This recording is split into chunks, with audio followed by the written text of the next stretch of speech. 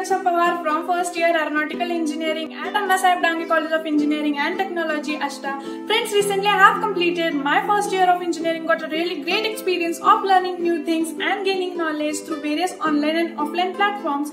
One of the most important feature of the basic science department is that it highly focuses on activity-based learning our basic science includes some technical and fundamental applied science courses. All the faculty of the basic science emphasizes us to create certain developed skills like imagination, creativity, productivity. Among us to acquire these skills, we have to go through various activities like spot presentation, video presentation, e-portfolio, group discussions, etc. They also organize some competitions like jigsaw puzzles, quizzes, problem solving.